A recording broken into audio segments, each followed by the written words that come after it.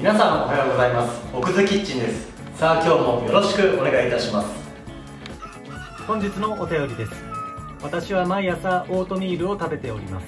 いつもはお味噌汁に入れたりリゾットにしたりしているのですが最近暑くなってきたので何か冷やして食べれるオートミールのレシピがあれば教えてくださいというお便りです。それでは今日は簡単でおしゃれなプロテインオーバーナイトオートミールを作っていきましょう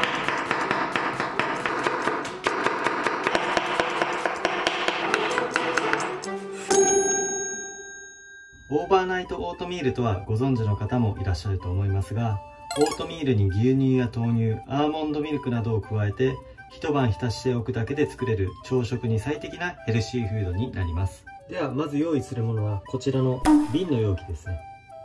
こちらは東急ハンズで買ってきたものですけどもこのような瓶があるととてもおしゃれになります。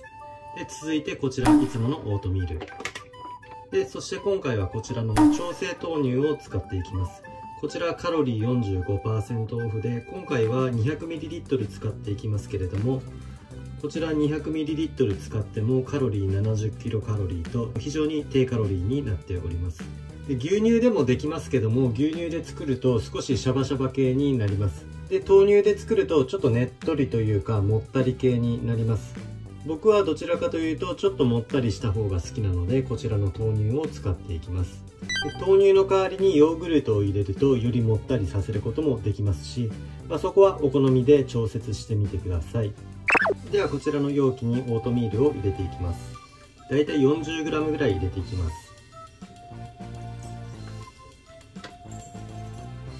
豆乳も入れていきます。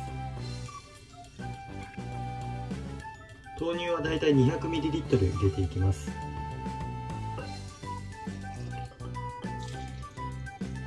でこちらを少し混ぜておきます。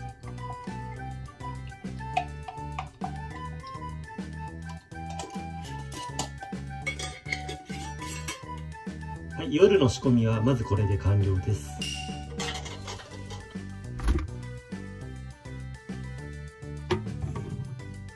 それではおやすみなさい。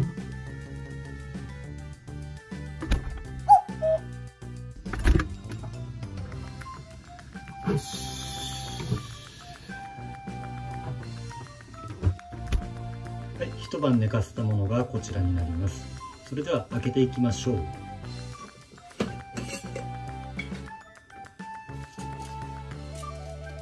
ちょっと混ぜてみます。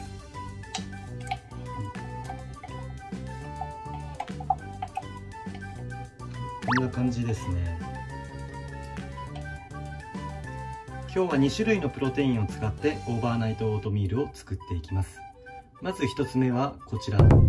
キャスパリマイオフュージョンのミルクチョコレート味になります。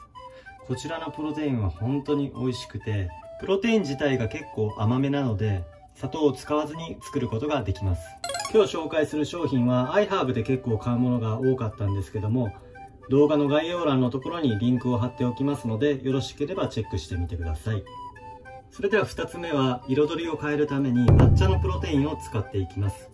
こちらのプロテインは筋トレ YouTuber で有名なプロタンさんがプロデュースしている抹茶のプロテインです。抹茶味のプロテインでなかなか美味しいものにたどり着けなかったんですけどもこちらのプロテインは本当に癖がなくて非常に美味しいです。飲みやすいですね。マイプロテインの抹茶味を1回頼んだんですけどもなかなか飲むのに苦労しました。抹茶ラテの方がですね、えー、美味しいという評判だったんですけどもなかったので、えー、今回はこちらのプロテインを買ってみたところ非常に飲みやすかったです。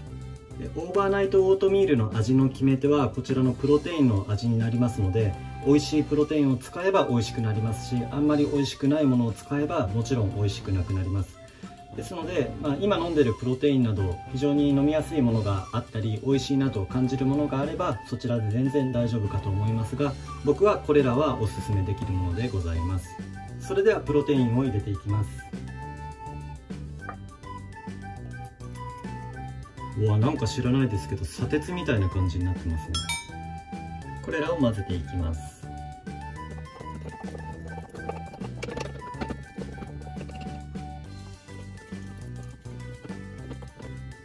んな感じですね。ちょっとこっちはシャバシャバしてます。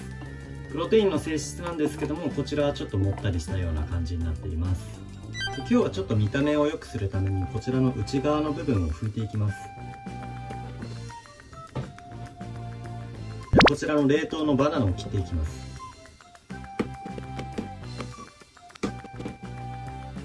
でこのバナナを半分ずつ入れていきます。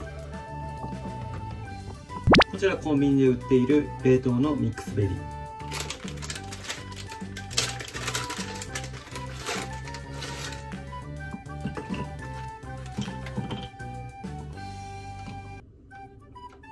続いてこちらカカオニブ。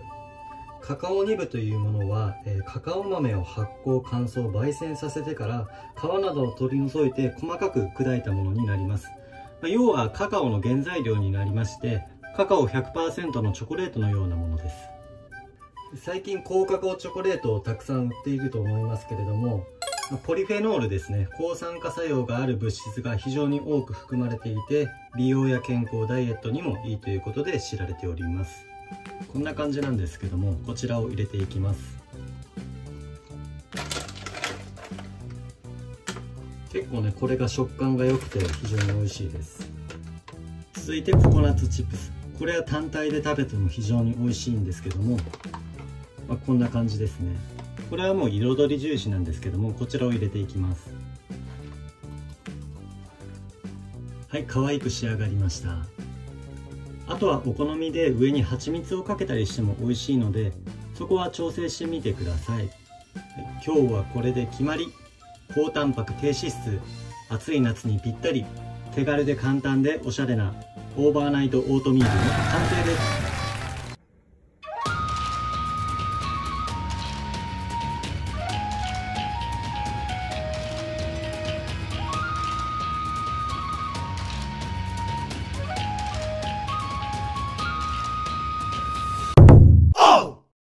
はい、それでは食べていきたいと思います。見てください。めちゃめちゃおしゃれじゃないですか。本当に簡単に作れるので非常におすすめです。で、こちら冷蔵庫で冷やしている上に冷凍のフルーツを入れているので本当に冷えていて暑い夏にはぴったりかと思います。それではまずチョコレートの方からいただきます。うん。うまい。やっぱりギャスパリのチョコレートのプロテイン非常に美味しいので甘党とか本当にこちら好きなんじゃないでしょうかねうんバナナもいい感じですではこちら抹茶の方いただきますうんうんうまいこちらは本当に癖がなくて抹茶の風味も後からこう香ってくるような感じで本当に美味しいですカカオニブのコリコリっとした食感ですとか、ココナッツチップスのパリッとした食感が非常にアクセントになっています。で、ちょっとこちらの抹茶の方は甘さが足りなかったりもするので、えラカントですとか、まあ、蜂蜜ですね。これらを加えることもあります。と入れてみましょ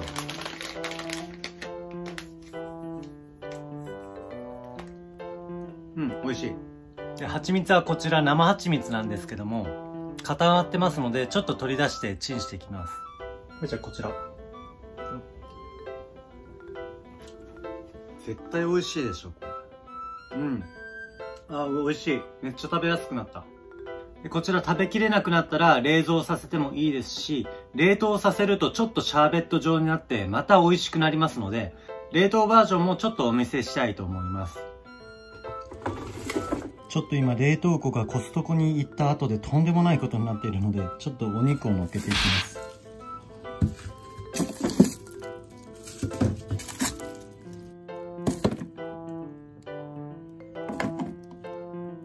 ではちょっとお休みなさいはいということでちょっと凍らせてみたんですけどもこんな感じですね。あんまりわからないですけどもちょっとシャリシャリしています。あこっちの方がちょっとシャーベット状になっているかもしれませんね。うん。ひんやりしてて美味しい。やっぱり冷やして食べると本当に美味しいですね。はいということで食べていきましたけども本当に簡単でおしゃれでタンパク質も取れてひんやりしていて夏場にはぴったりかと思います。プロテインオーバーナイトオートミールの1食あたりのカロリーが480キロカロリー。タンパク質が 38g、脂質が 8g、炭水化物が 64g というような形になっております。非常に高タンパク低脂質で、オードミールもひんやりとしたもので食べれますので、本当におすすめかと思いますので、ぜひこの夏作ってみてください。それでは、良い一日を。